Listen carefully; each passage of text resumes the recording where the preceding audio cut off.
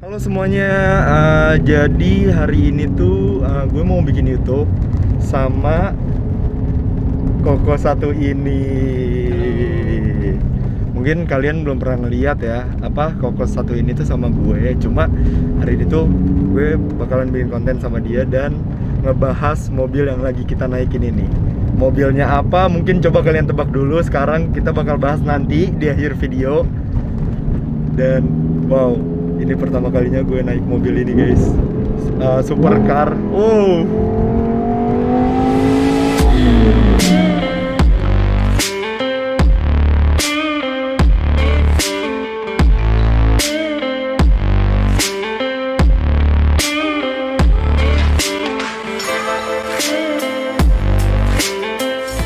Halo semuanya, balik lagi sama gue Fasyad Ramzi dan di video kali ini gue kedatangan tamu. Ada Jangan dikit. Ya, halo. Kok jadi dia yang gugup? Halo halo guys. ada Ko Mimi sama ada Ko. Halo, gua Cucun. Oh, Cuncun. Oke, eh, by the way guys, jadi eh, sebelum syuting ini kita tuh udah kita udah swab ya. Maksudnya udah sebelum-sebelumnya kita udah swab ya. Ya, udah. Sudah aman jadi kita udah bisa lepas masker. Halo Ko Cuncun. Ini kita pertama kali ketemu ya. Iya. Oke, bisa perkenalan kok eh, namanya siapa? Nama aslinya? Oh, nama gua Ramadhani Lim. Oh, bisa kenal de- eh, sama Komim ini dari mana? Oh, udah lama banget dari zaman dulu banget ya. Ya teman main lah dulu. Iya. Teman main. Iya.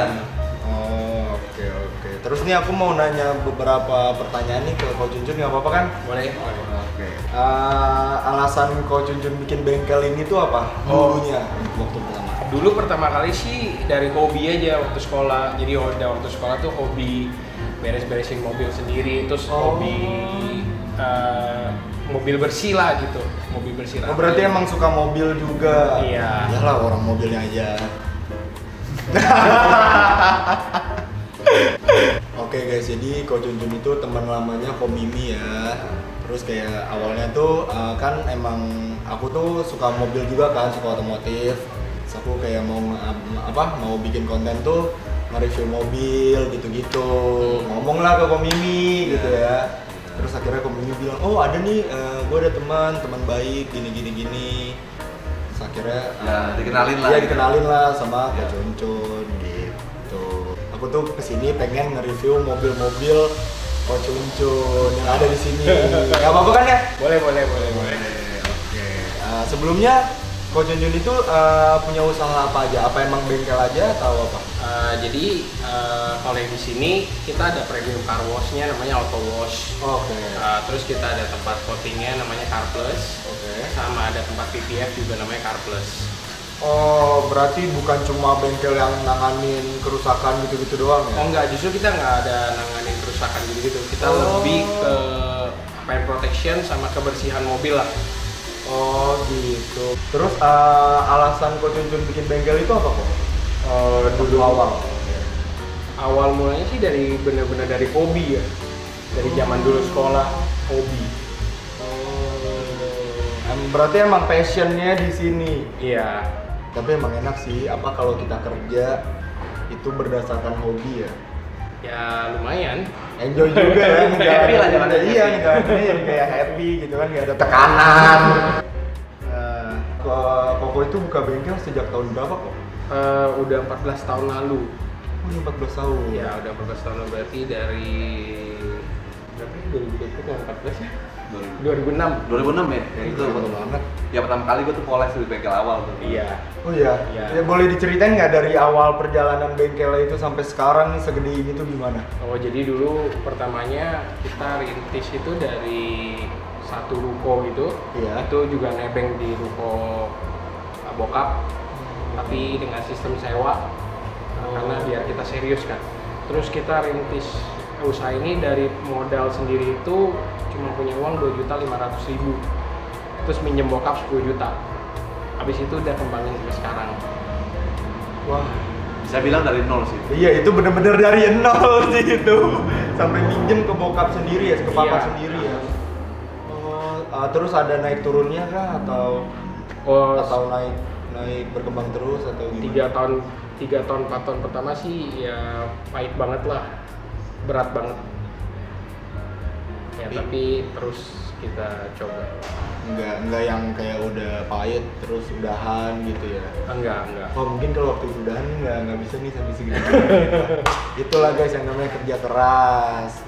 Oh gitu. dan banyak juga di support sama temen-temen lah dibantu Hmm. Nah, bisa sampai hari ini karena support teman-teman sama customer lah Terus itu katanya Ko Mimi dari yang awal bengkel itu gimana ceritanya kok maksudnya?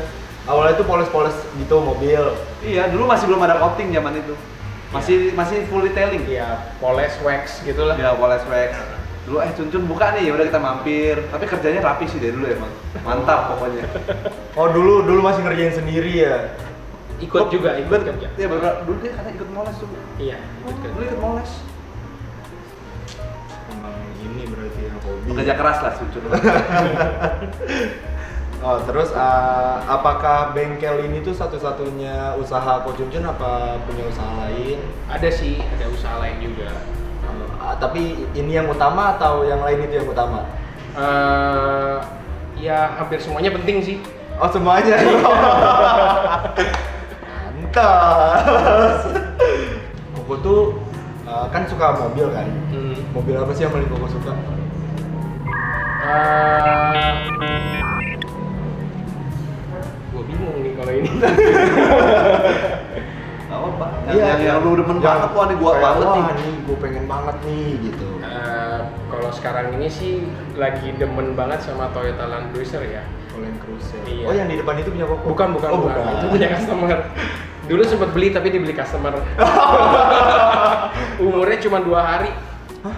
iya Dia saya beli- beli second dari customer kebetulan kondisinya tuh bagus banget jadi eh, customer lain lihat memang dia lagi ada nyari mobil tuh dan dibeli sama dia Baru dua hari itu punya Koko, iya dibeli lagi. iya Heeh. Itu cuan. Tapi seenggaknya mobil impian udah kebeli lah ya kalau gitu ya kan. Oh gitu. Selain itu kayak mobil-mobil sportnya gitu kan. Soalnya kan ada beberapa tuh mobil sport di depan tuh. Eh, ya banyak sih sebenarnya yang disuka ya cuma belum kebeli aja kita lagi dream car, dream car. Oh ya dream car yang misalnya ada uangnya nih langsung pengen beli itu. Itu tuh apa? Hmm, sekarang ini lagi nggak kepengen sih Hmm. gue lagi nggak kepengen beneran gue bingung jadi Belum kan belum nemu, Belum nemu mungkin ya. Oh terus juga di depan tuh ada motor kok. Koko suka motor juga. nah sekarang lebih demen ke motor sebenarnya Oh lebih suka ke motor. Iya, Emang kenapa tuh sekali. kok? lebih seru aja kalau naik motor tuh lebih seru mungkin kelamaan main di mobil kan bosan juga ya Oh ya mungkin karena kan dia emang udah lama banget kan main di mobil beda kan sama yang baru-baru gitu kan. oh gitu. Kita boleh langsung lihat mobilnya kok. boleh Oke guys, jadi kita mau ngelihat mobil-mobil yang ada di sini. Jadi yang pertama itu yang bisa dibilang rare ya, mobil yang bakal kita lihat pertama ini. Ayo guys, langsung sana.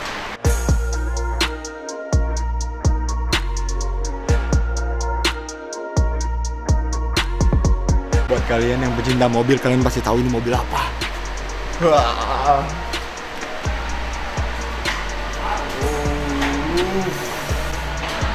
Wah. oh my god. Ah, fun fact gue tuh baru pertama gue tahu mobil ini tuh udah lama cuma gue baru pertama kali ngeliat mobil ini secara langsung bahkan megang terus mungkin bisa duduk wah jadi bisa dijelasin ini mobil apa kok ini SLS 63 IMG tahun 2012 tahun 2012 ya Nah, coba dinyalain. oh iya boleh boleh Gua lepas ininya dulu karena mobil ini udah tahun nggak pernah Tuh, dipakai. udah setahun cuma ditaruh di bengkel guys, mobil monster ini. Wah, bisa dilihat mesinnya. Ini yang mesinnya yang full uh, karbon, uh, covernya iya. karbon. Jadi ada yang nggak ada. Oh, ada yang bukan ini. karbon ya? Ada. Jadi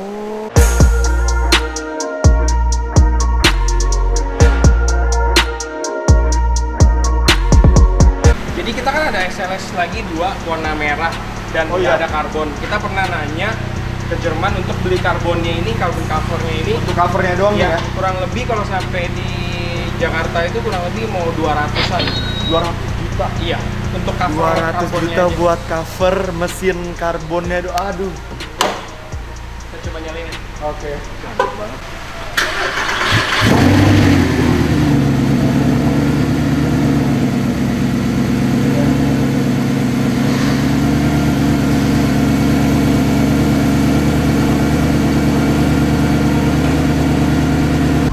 Didengar suara raungannya San SLS 63 ini.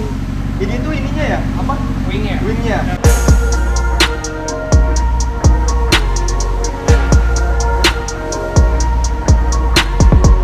Boleh digeber gak kok? Boleh, bentar ya. Lagi baru nyala. Oke. Mari kita bakal denger raungan SLS 63 AMG yang harga mobilnya itu 9 M. 9 M guys, 9 miliar. Ini untuk mobil ini tuh 9 miliar. Mau ya, Bro? Oke.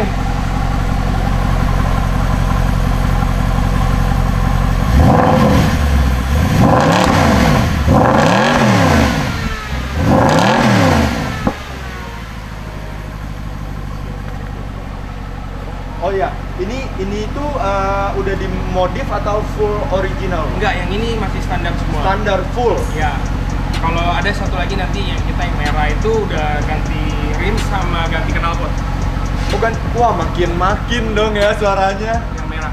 Wah ini suara standarnya aja udah seserem ini. Kalau ganti exhaustnya lebih enak lagi. Lebih enak lagi. Ya, yang merah kita pakai Capristo itu lebih enak lagi.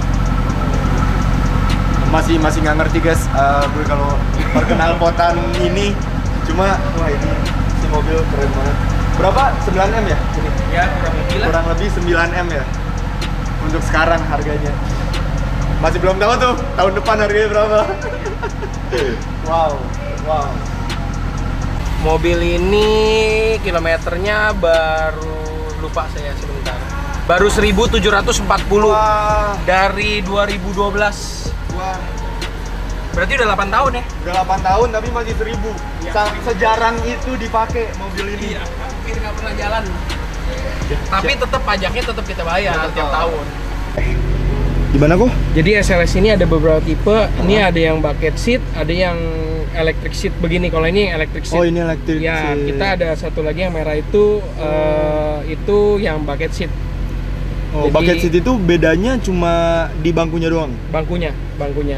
Tapi Eh, ada berapa tipe sih kok? sama beda eh, saya kurang kurang paham ya berapa tipenya cuman Hah? yang kita punya sih yang satu lagi itu merah itu nggak ceramic brake terus dia lebih bucket seat kalau yang ini lebih lengkap sih optionnya eh, seperti electric seat dan ceramic brake gitu dan Oh. full mesinnya covernya karbon semua begitu Oh, tapi yang bucket seat itu emang dari sananya. dari sananya Oh berarti emang beda tipe di situ ya? ya ada beberapa spek Oh, I see, I see. Nah untuk harga tuh perbedaannya, koko tahu nggak? Yang bucket, yang tipe bucket seat sama yang kayak gini tuh gimana?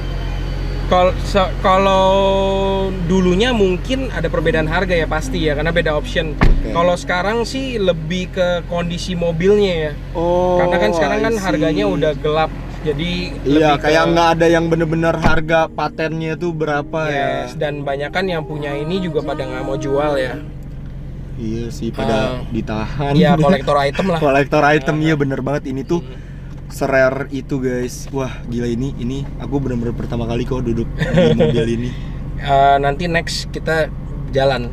Tunggu yang merah udah selesai ganti oli segala kita jalan pakai yang merah. oh jalan pakai SLS Iya, kalau yang ini Oh. memang sengaja nggak eh, nggak dijalanin Nggak karena dijalanin. iya karena memang kita ngincar kilometernya rendah ya. Memang Oh. untuk disimpan yang ini. oh tapi yang merah itu nggak dijaga juga kilometernya apa gimana Eh, yang itu lebih sering jalan, tapi kilometernya masih rendah juga sih, Berapa masih? 4 ribuan. waduh Heeh. Kemarin cuma keluar untuk ganti oli ganti doang, nanti oli pulang oh ya. iya jadi jadi eh, lucunya ya eh, Koko kan udah udah sempat bilang jadi rata-rata mobil eh, yang di yang didiamin di sini tuh cuma keluar untuk ganti oli Iya, ganti oli tap- eh, sama tetap STNK-nya tiap tahun kita perpanjang. tahun, ya. Heeh. Terus isi bensin tuh kalau aku boleh tahu nih kok, Heeh. ini tuh berapa sih untuk full tank?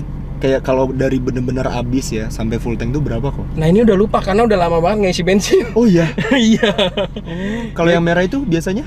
yang mer eh, saya juga lupa karena itu juga udah lama banget dari jalan baru kemarin jalan juga itu dalam keadaan kondisi full tank Oh. Tapi uh, isi kira-kira terakhir tahun lalu ya kira-kira tuh berapa? mungkin sekitaran 700 800 ribu ya segituan Oh itu udah full tank. udah full tank Berarti nggak mahal juga ya hitungannya ya? ya lumayan Iya, ya maksudnya untuk hitungan mobil kayak Iya. gini ya dengan V8 dan 6000 berapa? 6300 dia 6300. Oh, boros boros berarti ya. Pasti, karena Pasti, kan mesinnya segede gede, gitu ya. iya. Aduh, gila ini keren banget mobil. Mobil impian. Mudah-mudahan ya bisa kebeli ya. Amin. Amin. Oke, kita bisa pindah ke M4. boleh nih kalau gitu gua matiin dulu ya Oke, siap. Oke.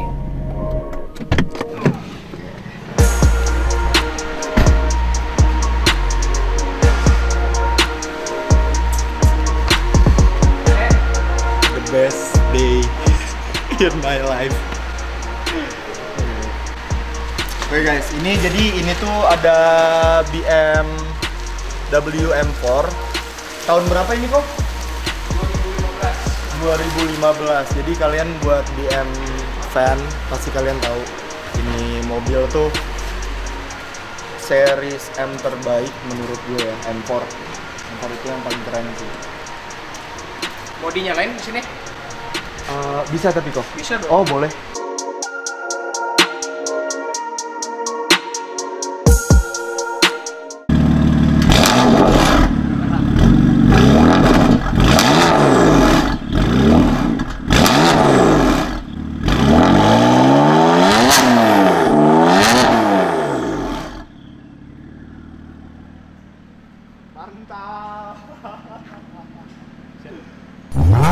Ini juga karbon ya dalamnya ya? iya kalau ini memang standarnya begini Oh iya, standar ya. Jadi ini tuh mesinnya gimana kok? Apa kapasitasnya dan lain-lain? wah gua lupa udah lama banget Oh lihat SNK. baca contekan dulu mesinnya 3000 ya bro 3000 cc. iya 3000 Tapi ini mesin belum di otak-atik kok. belum standar Full standar. Ya, cuma ganti exhaust doang. Iya. Oh, Tapi emang kan katanya orang kan eh, M series terbaik tuh M4 ya. Benar nggak sih kok? Hmm, Menurut- kurang tahu tapi menurut Koko M4 gimana? lumayan fun to drive sih menurut gua. Oke, oke. Iya. Tapi udah udah selain M4 tuh Koko udah pernah nyoba apa aja? M6, M6 M1, udah. M2 competition. Oh, M1 udah. udah. M1 Wah. manual dia. Iya, iya, Iya. wah. M5 udah. Dari semua itu menurut Koko yang paling ini tuh yang paling apa? The best itu apa? Eh, M4 sama M2. M4 ya, Iya. M4 sama M2. M3 juga oke sih sebenarnya. Oh iya. M3 ya. Ya mirip-mirip lah. M6 kenapa tuh? M6 dia mesinnya V8 kan kalau nggak salah. Terus dia belum turbo. Kalau ini kan udah turbo. Oh. M6 lebih kenceng sih sebenarnya. I see, I Hmm. see, I see. Gila ini juga mobil impian banget sih buat pecinta BMW sih ini mobil impian banget sih. 4 seater cuma eh, dua pintu ya. Ah, ada yang 4 pintunya juga ya kok? Iya, itu M3. Oh, itu M3. Iya. Oh, I see, I see. Habis ini ada mobil apa lagi kok? Hmm, mau review mobil apa? Oh, pertanyaannya gitu. Oke, kita gelar ya kok. Aku malah penasaran sama ini nih, seri 6 biasa nih. Baru pertama kali juga aku ngeliat ini. Oh gitu. Yang apa? Comfortable. Iya, sebentar gua ambil kuncinya. Oke, oke, oke. Cut dulu ya.